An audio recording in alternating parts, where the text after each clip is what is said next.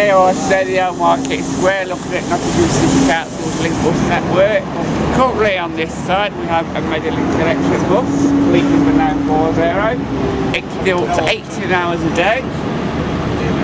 And 18 hours a day on the Link bus and plus it's cheaper and more beneficial to run and by the end of 2015 Nottingham City Council's Link Bus network will all be electric which will be cheaper and greener and calmer and better for Nottingham.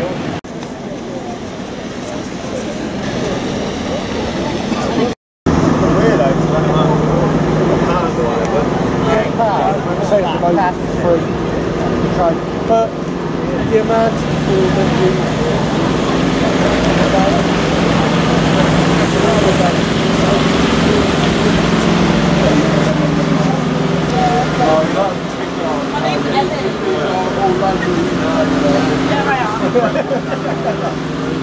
Which ones they are, I'm hmm. not particularly sure.